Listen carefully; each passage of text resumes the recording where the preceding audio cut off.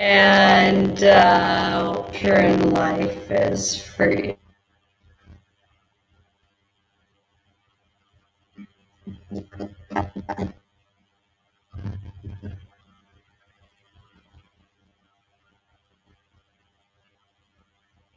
The podcast, but I have uh, officially uh, made my decision and I will be attending Harvard University, hopefully in the fall. Um, they haven't released exactly what's going to be happening with everything going on in the world, but um, I think I'm going to start either way. So, very excited. Wonderful. And do you know what you want to major in? Um, yeah. So the great thing um, about a liberal arts school is you kind of have some time to figure out, you know, where you want to go and, and what you want to major in. I'm really interested in neuroscience and biology. I've always kind of uh, thought the pre-med track, but I also love writing. And so English is something that I'm also considering. Um, yeah. So that's what I'm thinking. Oh, wonderful. I know you were within a couple days when we recorded the podcast yes. um, a couple um, weeks ago and, uh, trying to figure out um, kind of what you were doing. So I, um, in leading up to this, I know we're going to talk a lot about uh, Indigenous women, the play that you've written, and the work that you're doing. And I think we're in, we're in a time where having really difficult conversations is so important. And the work that you're doing and sharing the story of the women who are murdered or who are missing. So first, I want you to tell me a little bit about um, the storytelling project that you're doing, and then um, about, about the play, and, uh, and then from there, talk about um, some of the stories that, that we wanted to highlight. Yeah, so um, the Native Storytelling Project, um, which which started about a year ago now, was kind of born out of the lack of Native representation in the arts. Um, something that I noticed, kind of in in what I was doing, was the fact that there are not really a lot of roles for Natives that don't fall into this very specific stereotype that can often kind of be um, a negative, perpetrate a negative, and perpetrate that invisibility or that idea that Native people are are something of the past, that they belong in a museum, and and that's you know I think invisibility is what we call a kind of a, some a modern form of discrimination, and so for me, the Native Storytelling Project started as kind of a way to authentically share a story and also to kind of go back to what that worldview was. And so, um, something that I kind of started the journey with was uh, finding traditional stories, you know, these creation stories, these ancient stories that um, I grew up learning. And it was kind of really great for me to go back to the beginning and to be able to gather them and listen to community. And, um, and then from there, I was really inspired to kind of write this contemporary piece that kind of places these uh, traditional stories, interweaves them alongside a contemporary narrative. And it all kind of ended up being a theater for social justice effort. Um, it ended up dealing with this. Uh, with this issue of missing and murdered Indigenous women and girls, um, and and everything that that means. And it also ended up being a community endeavor. So what was really amazing about it was that it was a kind of a cast of 20 people who ended up putting on the play. Um, and it ended up being a 90 minute thing which was surprising to me. But um, yeah so it ended up uh, being all community based and that was the beauty of it right? And and that was super amazing. Um, we had you know a huge diversity of generations of, of different people from different backgrounds to play these roles.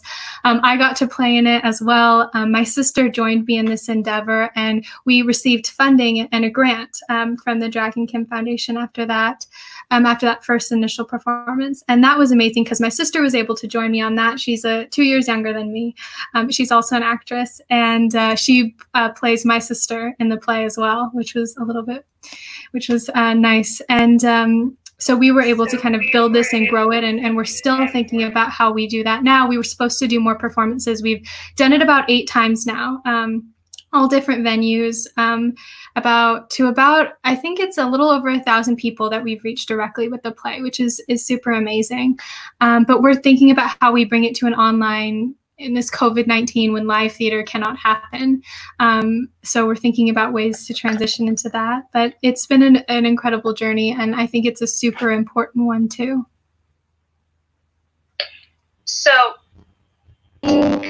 I I think a lot of people are not familiar with really what is the basis um, of, of your play, which is these large numbers of Indigenous women are, are missing. And, and you know, one of the things that, that I hear about when someone goes missing is the more you keep their story out there, right, the right, greater, the greater the chance that, they will be found. Um, Um, and so you and I, you and I talked about this. uh, before we did this. What What, are some of the stories of, of women, women, their names, where they're um, where they're from, from, that we can help just, share and um, just um, put light on their lives and, and you know, hopefully continue to help with that work. Yeah, I think that is, is definitely something that's really important. And, um, you know, just to kind of frame it, um, Indigenous women, they, and Native women, and, and that's non binary and, and trans as well, they go missing and they're murdered at rates that are 10 times higher than the national average. And so, um, you know, there's so many stories, and, and 95% of these cases, they aren't documented and they aren't reported by national news media. And so, you know, we're just in the beginning stages of understanding the magnitude of, of this issue because these statistics aren't included in the annual report to Congress. And so it really is a, a kind of a group that has been purposefully, I think, ignored. And, and that's part of the erasure of Native peoples that has has always been um, you know something that that we face and one thing that we have in the play is kind of a scene where the names of some of these women are listed it's the very beginning of the play we say their names um, kind of in a protest and, and in a chant and so you know there's so many and and what's what we like to do is we have a talk back after every performance and uh, people from the audience can share stories of women that they have known who who have gone missing who have been murdered and they if they want to, to include their names in that because it really is for them you know above everything else. Um, and there is some action being taken. Um, you know that the Savanna act um, which was uh, kind of more recent um, was named after uh, a woman a young woman who who was murdered and and who was pregnant at the time. And we just hear these terrible stories. And, and more recently selena not afraid. Um, she was just a 16 year old girl who uh, who was her body was found and um, she was she died she was in, from montana so she died of hypothermia. But the problem and the problem with that case and the problem with so many other cases is that they fall through the cracks. There's a lack of jurisdiction regarding whose job it is to to find these women. And so the families feel often that is they're they're the only ones who can take initiative who take initiative to find the, these um, women who do go missing. And and so it is um, you know a, a, a, lot about kind of sharing their stories um, because it is a lot of the times the families that are leading the efforts and they don't have the resources. And you know does it fall into the jurisdiction of the sheriff or the police or the federal law enforcement? And it it gets it's very muddled. And so there really needs to be clear distinct steps that that need to be outlined um, and, and more And I don't initiative think people- taken And I don't think people realize how many layers there are um, within Native, within um, Native communities, tribal communities. That there, you know, it isn't just I call the county sheriff if I, you know, my sister doesn't come home one night. That there are all those different jurisdictions. And I think People realize that they think that well, that's just what you do. You call a number, and that's where someone goes to, to get help. Right. And I think that, yeah, that's definitely an issue on reservation. Um, that's just whose job is it? And uh, that's a big issue. And then um, uh, kind of a recent, uh, kind of the first data analysis comprehensively that was done by a Native woman um, through the uh, in Seattle uh, kind of found that they're disappearing, Native women are disappearing at similarly high rates in urban areas, which is something that was previously unknown. And so, you know, that raises a whole nother a set of questions and uh, another set of actions that need to be taken for sure. So let's let's kind of go to the the the micro level. Let's start with you, and then help um, help educate myself and, and other folks that are listening. Um, you know that the, the the experience of being a Native woman is not um, you know it's not unilateral. It's very different. So tell me about your heritage. Um, you know, I live in a place where there are several um, reservations, and knowing that you know each tribe is very unique in in its identity and its background. So um, you know, tell me your personal heritage story, um, and um, and then we'll kind of go from there. Yeah, yeah. So um, for sure, there are so so many different tribes, and I think a lot of the mistakes that a lot of people make is kind of grouping them into to one um, to one group. But the fact is that there's so many different nations, and we all look very different. And uh, there's different stories, and there's uh, you know different traditions, and um, ways of living and beliefs. And so for me, um, I'm enrolled in the Cahuilla Band of Indians uh, through my father's side, um, which is uh, pretty close to where I live. Um, the reservation is located. Um, and um, so because that we live in South Southern California, that's the tribe that I was enrolled in. But my mother's also uh, Turtle Mountain Chippewa um, from up north, and so kind of have both. But um, uh, for me, you know, I kind of grew up urban, very urban. I go to school in Orange County. I think, you know, at the school that I went to, there was like one other Native American. And so it is a very unique, um, I think this urban Indian experience is something that is very unique and, and not talked about a lot um, because it is kind of these two very different worlds. Um, but for me you know i was always kind of really raised in these stories and and in this idea of oral tradition. And i think that's why um, i'm so interested in storytelling. My father um, he was uh, there were three young men that were kind of trying to save these traditional Cahuilla bird songs, which were going to kind of be erased and die out with the last three elders who still remember them. And so he kind of went with uh, with his brother and and a friend, and they asked, um, you know, these elders to teach them, and they were like, "No, we will not teach you." Um, but they kept going back, and then eventually they did uh, they did learn them and, and kind of brought them back. And now you can search up on YouTube and there they are. And so that was really inspiring to me. Um, and I think something that really made me want to, um, you know, bring back the story. So, so that's kind of where I'm, yeah, where, where I come from. I think about too some of the questions and, and again, going back to this is a time that we really want to bring awareness and we want to have those difficult conversations and ask those questions. Um, and I think, you know, I've had people say, well, do I, what does it mean to be enrolled in a tribe? When you mentioned, you know, that you were enrolled, what does that mean? And then, you know, how do, what is the language to be used? You know, are, you know, do you consider yourself indigenous, uh, native? Uh, those are kinds of things I think people are like, well, I don't want to ask something the wrong way or be wrong. And so we're going to, we're going to go ahead and go into that, that area and just, um, you know, help us, um, to understand you know what language should we use? How can we how can we share that experience? What does it mean to be enrolled?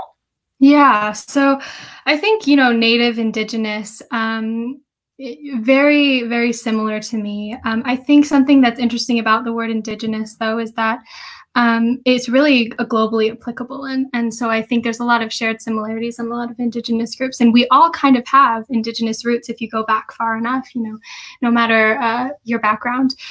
But in terms of, you know, what I always think is the most respectful or the best thing to do is always to ask someone what tribe they're enrolled in because I think that that at least shows you have a consciousness that there are like Native Americans aren't coming from the same backgrounds and the same uh, traditions and the same ways of life. And so I would say, you know, definitely go by the tribe and then um, being enrolled uh, is kind of a definitely a federal thing. Um, sometimes it has to do with blood quantum, sometimes it has to do with ancestry, but either way, you have to prove it, which is something that is very unique to natives, having to prove your background and your identity.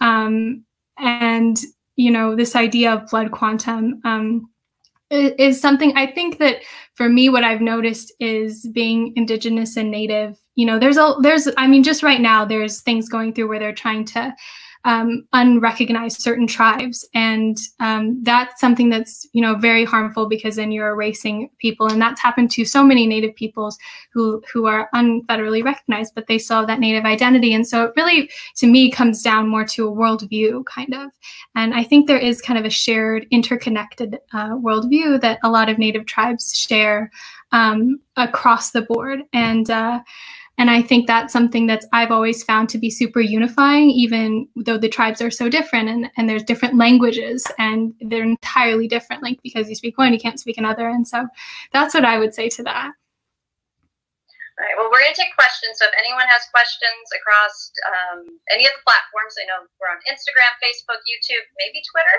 I think, also.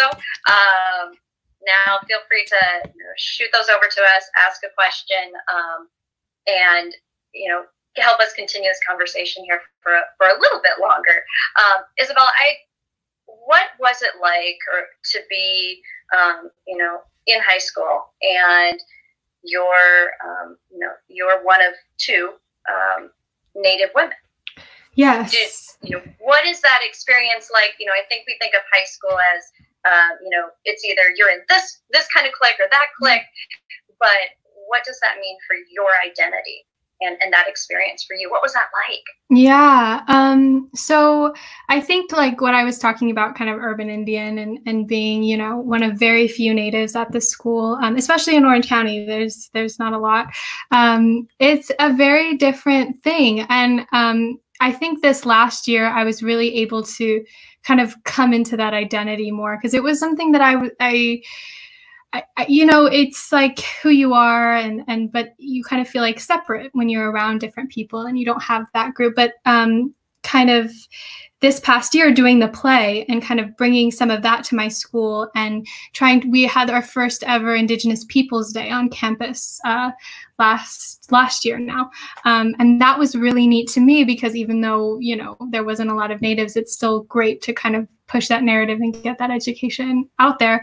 Um, but being able to kind of write the play and and it being acted by so many natives and native youth too which is so so neat. Um, that was really a really neat experience for me and i think it really grounded me. Um, and it's something that i'm probably just gonna have when i go to you know the next the next step in life you know it's gonna maybe be a similar situation. And um, it's just kind of making sure that you still make that space and um, I think being visible and and uh, sharing the story is the most important thing, for sure. And so we had a question from um, Twitter. How do you how do you cultivate community? Um, yeah, so that was a really, really important thing for this project because it was supposed to be for community by community. Um, and it was also kind of taking these ancient stories and putting them with something new. And that's always, you have to be very delicate and careful when you do something like that because you don't want to compromise integrity of, of the past, but you also are kind of trying to contemporary, make it more contemporary for your um, new audience. And so, um, that was something that I, I really struggled with. But I think because it all came from community, um, that kind of really helped it. And, um, you know, I had people come and and kind of make sure that you know in the beginning stages when I was writing the script in the first place, um, bringing in people from community, making it really intergenerational. We had like a five year old and like a ninety year old um, in some performances, and so that's something that was really unique. Um, but I I did really think that it was important. And and when people kind of learned about the issue or they already knew about the issue, um, it kind of built that community in itself because it's it's for a larger thing. And I think that's something that art can really be used for, and that can make art something that's really really powerful to kind of bring people together, humanize all of us. Um, and and kind of fill that empathy gap that um, sometimes you know is hard. So I think community is huge and I see Carolyn had a question. So, what were some of the challenges? I'm reading Carolyn's question. Uh, what were some of the challenges you had to overcome uh, with telling the Indigenous stories through theater?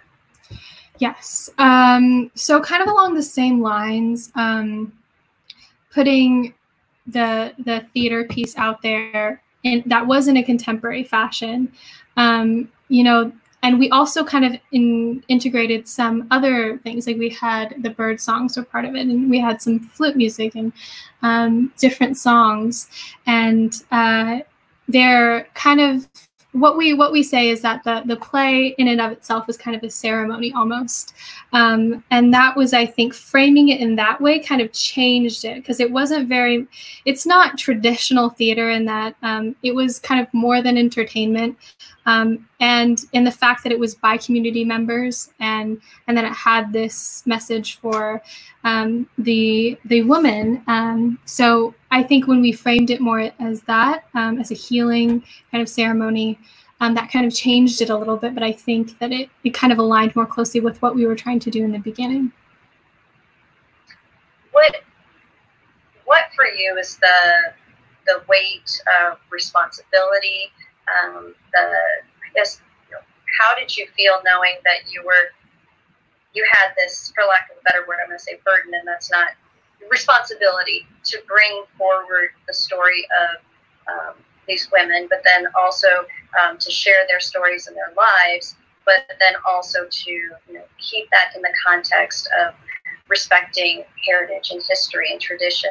Um, did it feel like a burden? Did it feel like a challenge? How do you just how would you describe that? It was a it was a challenge, definitely. Um, but I think that it, it also brought a lot of meaning and purpose to me. Um, and it was it was a really incredible experience. And kind of thinking back to it, I don't know how we did it because it was like we had two weekends of rehearsals, and then we just did the play.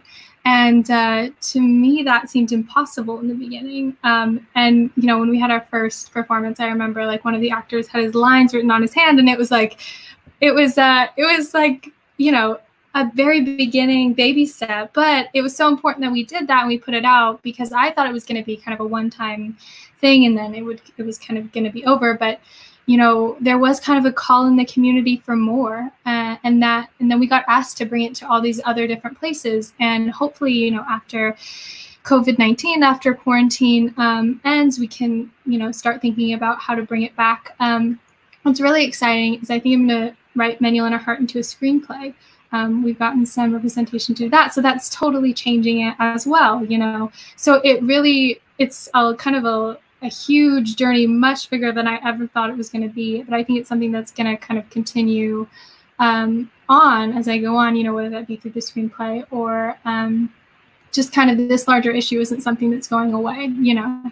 And so it is a huge responsibility. And but I also think, you know, activism brings purpose, and that's really great. And I've noticed in the cast we have two young girls, um, and I think it's really something that they really really connected with and and enjoyed because uh, you know they're part of sharing this story and it's for them right? And so that was super empowering for me too. What resources would you provide people or suggest places that they go and look if they want to learn more um, about about the play but then also um, the the stories that you've been sharing and just to be better educated to understand the context. And I think it's been called an epidemic, and it's absolutely right that it is an epidemic of um, missing and murdered Indigenous women across this country. So when people hear this, they've never heard it before, what are some good resources, places to go that you can suggest for? Yeah. So one of the things that we uh, started with the play was we made these kind of buttons um, that we kind of pass out, um, and it goes along with them is this kind of info- infographic that was made by Abigail Echo-Hawk and her team, and she was kind of the woman who spearheaded um, the initiative, uh, kind of at the forefront, to create this data analysis of these missing women to kind of first she had to prove it was a problem. And so she was kind of reclaiming that data um, and she did that through the urban indian health institute um, and she created this great comprehensive guide that kind of brings statistics um, and also her findings and her work. And so I always direct people to that. It's super easy to find. It's one of the first things that pops up when you just go to Google. Um, but it's very comprehensive. And the fact that it is all, it is led by her, a Native woman, woman is very important too because uh, she kind of frames it in that perspective. And it also kind of calls out the things that need to change if we're going to see real and meaningful you know change in this area. Um, so i would always encourage that um, and it, you know that information is out there but you have to dig because it, nobody's going to tell you about it right? Um, it's it's an issue that's very underrepresented um, because you know we're just uh, kind of that visibility again going back to that. Um, another thing is for me kind of art is super important. I think seeking out those indigenous artists is really really great because there's some great work being made right now. Um, that um, is so so empowering that really is about kind of reclaiming that narrative. Um, and you know whether that be in literature one of my favorite books uh, by leslie marmon silko um, ceremony um, that was written a while ago but that's that's great. And she kind of does the same kind of storytelling um, kind of traditional and contemporary. But there's great um, artists out there that are making music right now, and a lot of it has to do with these issues. Um, but I think once you start really delving into them and understanding the facts and then understanding, you know, what's being done, you'll kind of see that there's a connection between all of this, right? The taking of women is part of a larger taking of land and culture and language and identity. And, and they're all so interconnected that you can't really understand one without understanding the other. And, and I think that's what a lot of people find when they start to kind of dig deeper give us one, as we're wrapping up here, one action item, one step in in a sentence um, of something we can do to to even make a difference, right? Move that needle even the slightest bit. Um, that when we we click off of everything, what is the the one simple? And I hate to say simple because it isn't, but the one thing you'd say, this is what I need you to do to help continue making change. Yeah. So to go along uh, those lines, one of the things that we point out in, in, the kind of that infographic, which does have kind of a list of, of some things you can do, and one of them is really simple: just call your representative. And it's you know I think that's a, an action that a lot of people are taking right now, um, with everything going on in the world. There's a lot more of trying to hold your representative accountable and understanding what and, and going out to vote and, and things like that and um, you know obviously that's a very complicated uh, a thing. But um, I think calling or writing an email to your representative, there is actually, you know, I was back in DC um, as as part of a kind of a through the Center for Native American Youth at the time that some of these acts were running through Congress that deal with missing and murdered Indigenous women and girls, and um, so I was kind of able to to give that out, and I think that you know the more people who bring up this issue, um, it's it's so important. So whether that be on a state level or a local level, um, you know, supporting that way. Another thing that's really important right now is kind of the COVID nineteen epidemic on a lot of the reservations. Uh, the Navajo Nation has been hit really really hard. Um, so I would say right now something that's really dire is kind of seeing going onto their platforms those grassroots organizations and seeing what you can do to help because they have donations and you can make masks and things like that. Um, and they have you know specifically for indigenous women and they have different groups like that. So doing your research like that is a great first step um, because right now there is a lot going on in, in a lot of the uh, the tribal nations. Well it has been an absolute joy um, to to speak with you. And of course, I got to, to talk twice because we recorded the podcast. Now we get to do this. Um, and we will get to meet each other in person. Um, normally, our, of course, class of 2020 would have been in person in April, but um, I know you all got to meet by Zoom at least once. yes. Um, and working on the Leadership Development Institute, the LDI. I know mm-hmm. I've got a mm-hmm. meeting for that uh, later tonight about that program, mm-hmm. continuing that. But the class of 2020 is absolutely amazing. I've been able to, to speak and meet um, a handful. And let me tell you, if you have any doubt about the world going in the right direction, you just meet the class of 2020. And you know that it's um, for a rough year that I think most people have had, you all have been um, your class and um, your generation have been absolutely inspiring, and you specifically, Isabella, with the work that you're doing um, and the voice that you're giving. I think that's what's really powerful about what you're doing is you're not um, you're not only giving a voice to one, you're giving a voice to generations, and I think that's absolutely incredible. So. Thank you for joining us. Oh, I see another one of your class of 2020 classmates is saying, Yay! Hello, Lucas. Um, and I'm so glad again you got to join me. If you've caught this and you don't know what the Coke Scholars Program is, um, it is an absolutely incredible way to, of course, help with scholarship for college, but more so to create community. And we say we're a family, and that is exactly what we are um, and how we connect and we share stories. And we, you know, our goal is to change the world. Um, and so if you want to learn more, you can follow us uh, on our platform, search for Coca Cola Scholars or Coca Cola Scholars Foundation, and you can learn more there about the incredible scholars that have come through the years. And of course, if you are going to be a high school senior, you can learn there about when the application opens up in August and the process that you go through for all of that. Um, and if you want to see more of our conversation, it is on episode four of the SIP, um, Scholars Ignite podcast. And you can see that wherever you download, listen, um, whatever platform you use to listen to any of that. And I have to agree, let's see, I'm looking here. Chicken wings. Yes, Isabella, Woman of the Year. That is that is an apt uh, comment and note to, to end this all on. So thanks to everyone that, that joined us. Isabella, best of as you, you. Um, get ready for college. And thank you again for the work you're doing and your your amazing voice and art and change that you're bringing. Um, somehow I feel like you you do you pack 28 hours into 24, and I don't know how you do it, but it is it is inspiring. So. And thank you everybody for joining us. And for, if you're on Facebook or Twitter or Instagram or YouTube, we're so glad that you could be with us. Um, and here in a couple weeks, I know we've got another podcast coming up uh, with the incredible and amazing Coach DKR, Coach Darren Roberts. We'll be doing uh, the next two SIP podcasts. So thank you again. And if you have any more questions for Isabella, you can be sure and follow her on social media. I know she's on Instagram or send us a message at Coke Scholars. And thanks, everybody, and have a great day. Thank you. Bye bye.